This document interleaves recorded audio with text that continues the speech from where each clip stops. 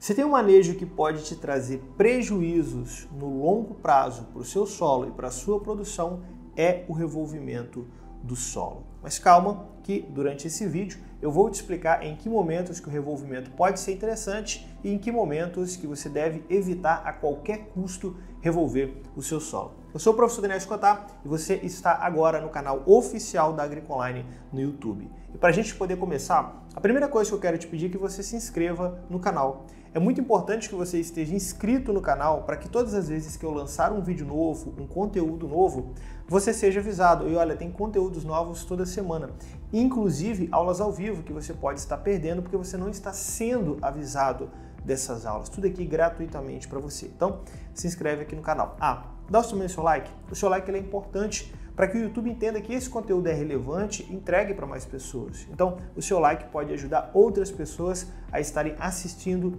esse conteúdo e, é lógico, ajuda também o nosso canal. Então, dá o seu like aqui para poder ajudar. Vamos lá. Possivelmente você já ouviu falar que revolver o solo pode ser algo negativo. E existem vários motivos para isso. Eu não vou entrar em todos os critérios. Existem vários motivos pelo qual revolver o seu solo pode ocasionar danos físicos e químicos. Eu vou me ater aqui a falar sobre matéria orgânica. Eu sei que tem outros pontos, mas eu quero falar especificamente sobre matéria orgânica nesse vídeo. Os outros assuntos talvez eu possa falar em outro vídeo, basta você comentar aqui embaixo né, qual o seu interesse maior sobre esse assunto, que a gente faz um outro vídeo sobre isso. Certo? Vamos lá, por que, que o revolvimento do solo é tão prejudicial à matéria orgânica do seu solo e isso pode trazer prejuízo de produção? Eu não sei se você sabe, mas quando você faz a adição de algum resíduo orgânico no solo, você pode chamar de adubo orgânico, sei lá, um esterco, né, uma cama de frango, uma compostagem, não importa o que seja. Quando você adiciona no solo, grande parte de, desses resíduos orgânicos, dessa matéria orgânica, se eu puder falar dessa forma, é, vai ser perdido na, de forma gasosa. E quando eu estou falando em grande parte, é grande parte mesmo. Cerca de 60 a 80% dessa matéria orgânica é perdido em forma gasosa. CO2, por exemplo. Né? Pouca parte vai ser de fato aproveitado. Sei lá, se a gente for colocar isso daqui em número, vamos colocar, vamos supor que você está colocando 100 quilos de um resíduo orgânico, de um esterco qualquer. Aproximadamente 3 a 8 quilos é, desses 100 quilos vai ser ali uma, uma, os micro-organismos, né, os, os organismos no solo, certo? Biomassa microbiana, assim que a gente chama esse, esses organismos. De 3 a 8 quilos, no final, vão se transformar em substâncias úmicas. De 10 a 30 quilos vão estar ali naquele processo intermediário de compostos úmicos complexos. E de 60 a 80 quilos vai ser perdido de forma gasosa. Então, a gente já perde muito naturalmente. Só que tem um outro ponto. Conforme você vai fazendo essa adição, grande parte da matéria orgânica vai ficar nos primeiros centímetros do solo. De fato, em profundidade, a gente até vai ter é, substâncias mais estáveis, como substâncias úmicas, com o passar do tempo, enfim, com o manejo e dependendo do tipo de solo que você trabalha, se é um solo mais novo, se é um solo mais velho, certo? Se é um latossolo, por exemplo.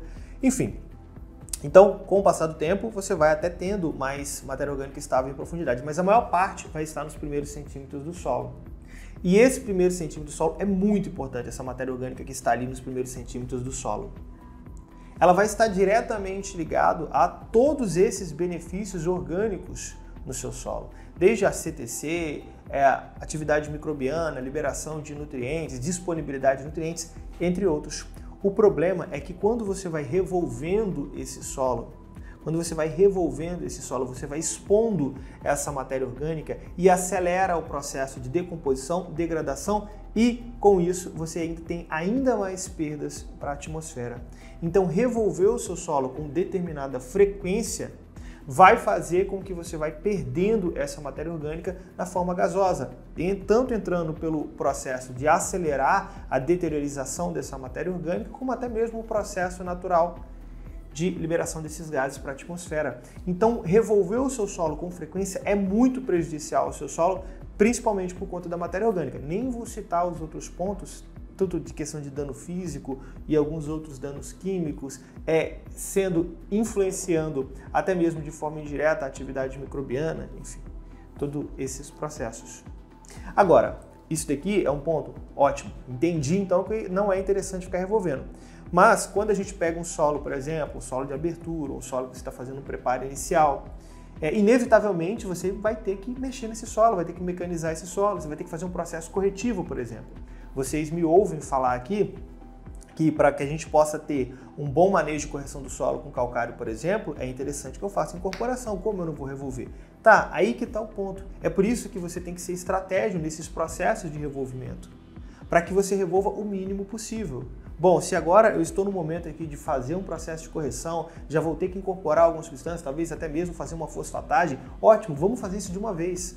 Vamos fazer essa incorporação de uma vez, vamos aproveitar esse time, vamos fazer o que tem que ser feito agora, para que a gente possa passar o maior tempo possível sem ter que revolver novamente. Então é uma questão de estratégia. O que não pode é o produtor ficar empurrando com a barriga e todos os anos né, os problemas vão se repetindo, vou tendo que revolver o solo novamente. Ele não consegue ter um bom manejo ali ligando os pontos de correção do solo, de adição de matéria orgânica, de fosfatagem, do processo corretivo como um todo.